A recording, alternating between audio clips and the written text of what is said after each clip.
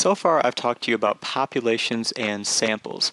Now, we're going to talk about how we choose what goes into our samples. And that is the question. How do we select from the population what goes into our sample? And now before I start talking about different sampling methods, I'm going to talk about different ways of representing population and sample sizes. Basically, if you see a capital N, that means I'm talking about the size of a population.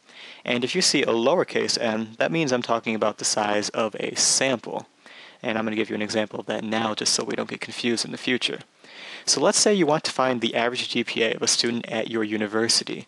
Your university has 20,000 students, and you select 100 of those students to ask them about their GPAs. What are capital N and lowercase n. What are the population and sample sizes? In this case, the size of the population you're drawing from is 20,000, because I'm talking about those 20,000 students. And lowercase n is 100, because we're taking a sample of 100 students. So that is the distinction between the capital and lowercase n. Now, the goal of sampling is to create a sample that is representative of the population it is being drawn from.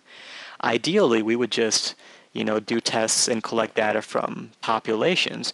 But the problem with that is sometimes they're so large, they can be millions and billions of people, that that might be impossible. And that's why we take samples. Now, the most basic sampling method is called simple random sampling. You've probably heard of it already. When performing simple random sampling, every member of the population has an equal chance of being selected from your sample arguably the best sampling method because your sample is almost guaranteed to be representative of the population, but it's hardly ever used because it's too impractical. I mean, in order to do this properly, you have to know who every single person in your population is, and that's often impossible. So we might do something called stratified sampling. When performing stratified sampling, the population is split into two or more non-overlapping groups called strata, and then simple random sampling is done on each group to form a sample. So for example, you might split a population of students into men and women, and then sample from each of those two groups. This might allow us to collect the same amount of information as simple random sampling, but use less people because we've already made the distinction between men and women. There's also systematic sampling. When performing systematic sampling, every nth individual from the population is placed into the sample. And that might sound kind of weird, so let me show you. For example, if you add every seventh individual to walk out of a supermarket to your sample, you are performing systematic sampling. I mean, that way you don't need to know everyone in the population of supermarket shoppers. You can just add every seventh person and then you're done. And that's a lot easier. This is convenient when you cannot contain, obtain a frame, which is a list of everyone in the population.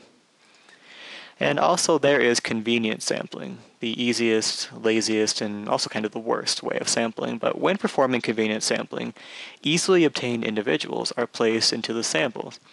Simply put, in this kind of sampling, you pick the easiest way of getting people into your sample. This kind of sampling can also be called voluntary response sampling because individuals often select to be a part of it, like you'd call them on the phone or send them a letter or something like that. But this can also be a problem because there may be a difference between people who choose to participate and people who choose not to. Now remember, the goal of sampling is to create a sample that is representative of the population is being drawn from. That's all. And that's it for sampling. Um, you should know the difference between capital and lowercase n's. You know, they represent population and sample sizes. And also understand the distinction between the four different kinds of sampling.